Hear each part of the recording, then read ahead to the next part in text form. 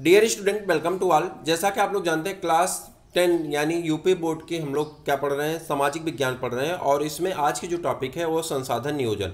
तो संसाधन नियोजन को हम पढ़ें, उसके पहले आपके पाँच वीडियो सोशल के अपलोड किए गए हैं। अगर आप नहीं देखें, ज़रूर देख लें, जहाँ से आप समझ पाएँगे। कंटिन्यूटी से आपका वीडियो आता रहेगा। आप अपने वीडियो चैनल को सब्सक्राइब कर लीजिए। बेल आइकन प्रेस कर दिए ताकि आपको जानकारी हो जाए कि आपका वीडियो अपलोड कर दिया गया। चलिए स्टार्ट करते हैं, देखते हैं। नियोजन का मतलब क्या होता है? उसे एक व्यवस्थित तरीके से नियोजित करना मतलब उसे व्यवस्थित तरीके से उपयोग करना। देखिए, संसाधन हमारे पास हो सकते हैं, लेकिन अगर हम उसे व्यवस्थित तरीके से उपयोग करेंगे तो लॉन्ग टाइम तक चल सकते हैं। लेकिन अगर हम उसे अच्छे तरह से उसका उपयोग नहीं करेंगे तो बहुत कम समय के लिए चलेगा। कॉमन चीज़, बात है, जैसे आपकी पुस्तक है, आप अपने पुस्तक को लिए एक संसाधन है जहाँ से आप ज्ञान अर्जित करते हैं। अगर आप उसके ऊपर कवर कर दिए हैं, उसे सेफ्टी रखते हैं, उसको पानी में नहीं डालते हैं, पानी से भीगता नहीं है तो उसे अगर आप सेफ्टी से यूज़ करते हैं, बचाव के साथ उपयोग करते हैं तो वह किताब आप तो साल भर पढ़ते हैं, ये साथ में आपके जो कलिग्स होते हैं, जो आपके जूनियर्स होते हैं, अगर आप उन्हें दे देते हैं तो वो भी उस किताब को पढ़ सकते हैं या लॉन्ग टाइम के लिए उस किताब का आप उपयोग कर सकते हैं। लेकिन कुछ लोग ऐसे होते हैं, जो किताब के ऊपर ही लिखते हैं, किताब को जो है कहीं पे फेंक देते हैं इससे क्या होता है कि आप ही के साल अंत होते होते वह किताब इतनी गंदी हो जाती है कि आप उसे देखना नहीं चाहते, पढ़ने की बात ही छोड़ दीजिए। तो कंडीशन ये है कि जो संसाधन हमारे पास हैं, चाहे वो प्राकृतिक हैं, चाहे वो कृत्रिम है, उन संसाधनों का उपयोग हमें कैसे करना चाहिए, उनका नियोजन कैसे करना चाहिए, जिनसे समस्त लोगों तक वो संसाधन पहुँच भी जाए और उसका दुरुपयोग भी ना हो, उसी चीज़ों को हम कहाँ समझेंगे? संसाधन नियोजन में। बात समझ पा रहे हैं आप? अब चलिए देखते हैं इसमें क्या कह दिया गया। संसाधनों के विवेकपूर्ण उपयोग के लिए नियोजन एक सर्वमान रणनीति। कह रहा विवेकपूर्ण, यानी उसे एक विवेक तरीके से, यानी एक उसे सही तरीके से उपयोग करना क्या कहलाता है? नियोजन कहलाता है। इसीलिए भारत जैसे देश में जहाँ संसाधनों की उपलब्धता में बहुत अधिक विविधता है विविधता है, यह और भी महत्वपूर्ण। कह रहा है भारत में अगर संसाधनों की बात करें तो कहीं आप देखेंगे, भारत में सिर्फ़ और सिर्फ़ पहाड़ी बेल्ट है, कहीं पे सिर्फ़ पठारी बेल्ट है, कहीं पे सिर्फ़ क्या है, धरातल है मतलब समतल ज़मीन है, कहीं पे समुद्र तटीय इलाका है तो जो समुद्र तटीय इलाके होते हैं, जो पठारी ज़मीन होती हैं, जो गोडमाना लैंड की चट्टाने हैं, जो बिंद क्रम की चट्टाने उन चट्टानों से कोयला निकाला जाता है बालुआ पत्थर निकाले जाते हैं, लेकिन जो मैदानी क्षेत्र है, वहाँ पे सिर्फ़ और सिर्फ़ खेती की जाती है। तो पता चला जिस क्षेत्र में है, उस क्षेत्र में तो उसका दुरुपयोग हो रहा है, लेकिन जिस क्षेत्र में नहीं है, वहाँ पे बहुत कास्टली बिक रहा है। वहाँ पे उसकी कमी खल रही थी। इसलिए क्या है कि यहाँ पे नियोजन ऐसा हो कि जहाँ पे है, वहाँ पे भी ऐसे कोई उद्योग लगाए जाएँ, ऐसे कारखाने लगाए जाएँ, जहाँ से उन्हें ट्रांसपोर्ट के माध्यम से वहाँ तक उपलब्धता उसकी उपलब्ध कराई जाए, जिसको उसकी नीड है। जैसे मान लीजिए कि आपको बलुआ पत्थर चाहिए, आपको गिट्टी मोरन चाहिए, आपको बालू चाहिए। अब आपको बालू के लिए क्या करना है? गंगा की बेसिन में जाना है। लेकिन आप ऐसे क्षेत्र में रहते हैं जहाँ गंगा नदी नहीं पहुँचती या यमुना नदी नहीं पहुँचती, तब आपको बालू कैसे मिलेगी? अगर बालू का वहाँ पर सही से उत्खनन नहीं होगा तो आपको बालू नहीं मिलेगी। तो इस प्रकार से जो भी हमारे संसाधन हैं, उन संसाधनों का सही उपयोग करना है। बात समझ पा रहे हैं? तो कह रहा है, भारत में बहुत विविधता है, चूँकि कहीं समुद्र तटीय इलाका है, कहीं पे प्लेन ज़मीन है, कहीं पे पठार है तो वहाँ पे बहुत ज़्यादा इसकी आवश्यकता पड़ जाती है। यहाँ ऐसे प्रदेश भी हैं जहाँ एक तरह के संसाधनों की प्रचुरता है। कह रहा है, यहाँ ऐसे प्रदेश हैं जहाँ पे एक तरह के संसाधन बहुत ज़्यादा है। जब परंतु दूसरे तरह के संसाधन की बहुत कमी है। जहाँ पे बलुआ पत्थर बहुत ज़्यादा है, जहाँ पे सिल्ट बहुत ज़्यादा है, जहाँ कोयला निकल रहा है। जैसे झारखंड की बात कर लें, कोयला खूब निकल रहा है। खेती के मामले में कम है। समुद्र तटीय इलाकों की बात कर लें तो वहाँ पे सी फ्रूट सी फ्रूट्स बहुत निकल जाएँगे, लेकिन वहाँ पे जो आपके फल हैं, उन फलों की मात्रा कम है। तो कहीं ना कहीं हर चीज़ की उपलब्धता हर एक जगह नहीं है। ये एक बड़ी यहाँ पे विडम्बना है। कुछ ऐसे प्रदेश भी हैं जो संसाधनों की उपलब्धता के संदर्भ में आत्मनिर्भर कह रहे हैं कुछ ऐसे हैं जहाँ पे संसाधन इतने ज़्यादा हैं कि वो आत्मनिर्भर है, उनको कोई दिक्कत ही नहीं है। लेकिन कुछ ऐसे प्रदेश भी हैं जहाँ संसाधनों की अत्यधिक कमी है। उदाहरण के लिए हम बात करते हैं झारखंड, मध्य प्रदेश और छत्तीसगढ़। आदि प्रांतों में खनिजों और कोयलों के प्रचुर भंडार हैं। अब इन्हें कोयला और खनिज के लिए किसी और पे निर्भर नहीं रहना चूँकि इनके पास इतना प्रचुर भंडार है कि खुद पे निर्भर है, अपने आप से इनकी पूर्ति हो जाती है।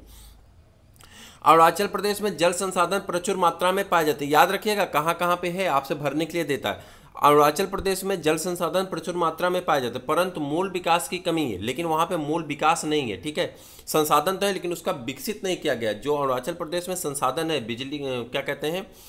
पानी के संसाधन, लेकिन उसका उपयोग करके इलेक्ट्रिसिटी नहीं बनाई जा रही। तो कहीं ना कहीं संसाधनों की वहाँ पे कमी है। परंतु विकास की कमी, राजस्थान में पौन और सौर ऊर्जा संसाधनों की बहुतायत है, लेकिन जल संसाधन की कमी राजस्थान में क्या है?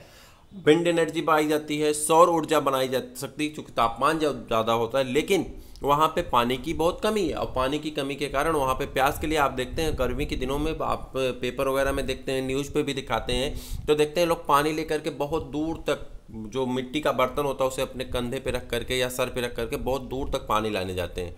पानी वो जाकर के छोटे छोटे झीलों से, नदियों से, तालाबों से इकट्ठा करते हैं, जहाँ पे थोड़ा सा गड्ढा होता है, जहाँ पानी रहता है, वहाँ से ले आते हैं। फिर उसे साफ़ करते हैं, फिर उसे पीते हैं। तो कहीं ना कहीं वहाँ पे पानी की बहुत ज़्यादा कमी है, लेकिन एक ऐसा प्रदेश है जहाँ पे अरुणाचल प्रदेश की बात कर ले, पानी बहुत ज़्यादा है।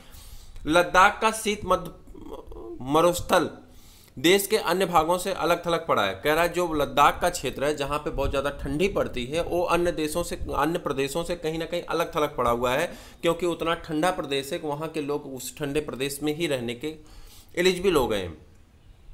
यह प्रदेश सांस्कृतिक विरासत का धनी है। परंतु यहाँ जल, आधारभूत अवसंरचना तथा कुछ महत्वपूर्ण खनिजों की कमी है। इसीलिए राष्ट्रीय, प्रांतीय, प्रादेशिक और स्थानीय स्तर पर संतुलन, संसाधन नियोजन की आवश्यकता कह रहा है, यही एक कारण है कि पूरे राष्ट्र को संसाधन नियोजन की एक आवश्यकता है। जो वहाँ के प्रांतीय सरकार हैं, उनको भी संसाधन नियोजन की एक आवश्यकता है। जो प्रादेशिक सरकारें हैं, जो आपके स्थानीय निकाय हैं, उनका भी ये दायित्व बनता है कि संसाधन नियोजन करें। आपकी स्थिति क्या है? आप देखते हैं, आपके घरों में आप बैठ जाते हैं, न्यूज़ देखते हैं, न्यूज़ देख करके उसके बाद सरकार को गालियाँ बकते हैं पेट्रोल के दाम बढ़ रहे हैं। लेकिन क्या आप पेट्रोल का सही उपयोग करते हैं? बेफालतू की गाड़ी दौड़ाते हैं दिन भर रोड पे दौड़ाते हैं, इधर जाते हैं, उधर जाते हैं, गाड़ी दौड़ा रहे हैं, पेट्रोल तो खर्ची हो रहा है। तो कहीं ना कहीं आप उसका नियोजन खुद नहीं कर रहे हैं। जो कॉमन सी चीज़ें आप सुबह पाँच किलोमीटर दौड़ने जाएँगे, दो किलोमीटर दौड़ने जाते हैं एक्सरसाइज करने जाते हैं, लेकिन उसके लिए गाड़ी से जाते हैं, स्टेडियम तक जाएँगे, वहाँ तक जाएँगे। आप पैदल भी जा सकते हैं, लेकिन नहीं।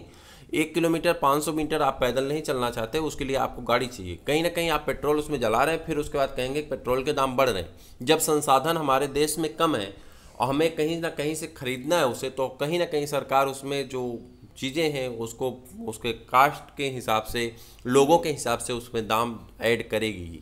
तो चीज़ें जो है उसे संसाधन को अच्छी तरह से उपयोग करिए। आप पानी की टंकी, आप भर जाती है, आप पानी गिर रहा है, आपको कोई मतलब ही नहीं।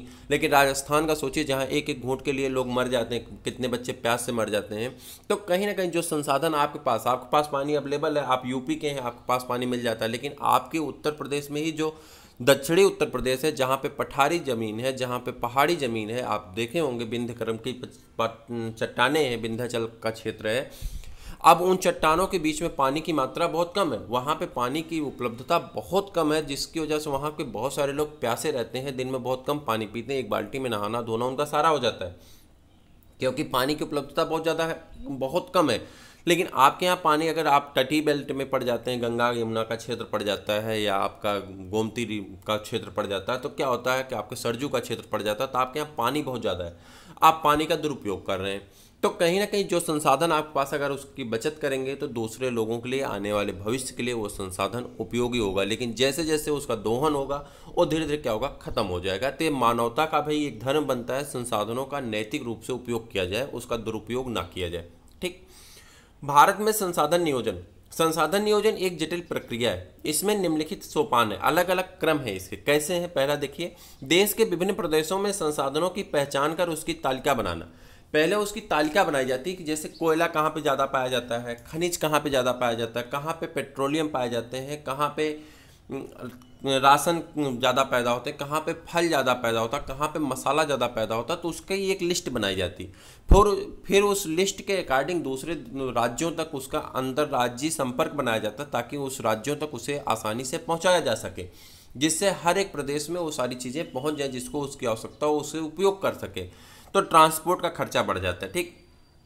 इस कार्य में क्षेत्रीय सर्वेक्षण, मानचित्र बनाना और संसाधनों का गुणवत्ता और मात्रात्मक अनुमान लगाना व मापन करना होता है। संसाधन विकास योजनाएँ लागू करने के लिए उपयुक्त प्रौद्योगिकी, कौशल और संस्थागत नियोजन ढांचा तैयार करना होता है।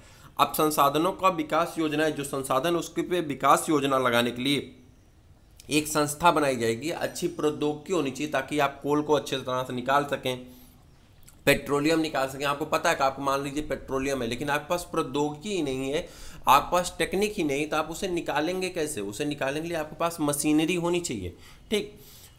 कौशल विकास होना चाहिए, जिससे आप आपके अंदर वो क्षमता हो आप उन साधनों का अच्छी तरह से उपयोग कर सकें। पता चला कौशल विकास ही नहीं है, आपके पास जैसे सपोज़ करिए कि आपके पास गेहूँ हो, चावल हो, आटा हो, सब कुछ हो, आपके पास आटा है, दाल है, सब है, लेकिन आपको खाना पकाना ही नहीं आता।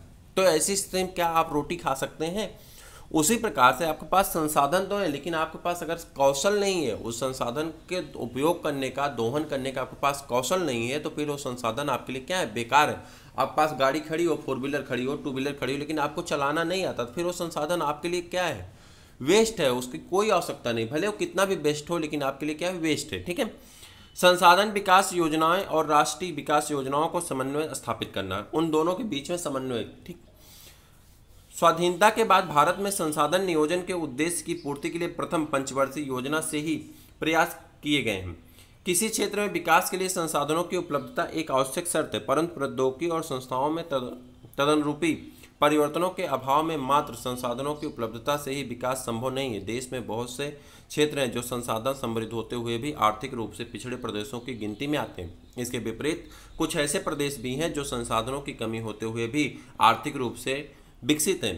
उपनिवेश, उपनिवेशन का इतिहास हमें बताता है कि उपनिवेशकों ने संसाधन संपन्न प्रदेशों, विदेशी आक्रमणकारियों के लिए मुख्य आकर्षक रहे। उपनिवेश अब देखिए, उपनिवेशक जो आएँगे, उपनिवेशक मतलब व्यापारी। जो व्यापारी आपके यहाँ व्यापार करने के लिए आए हैं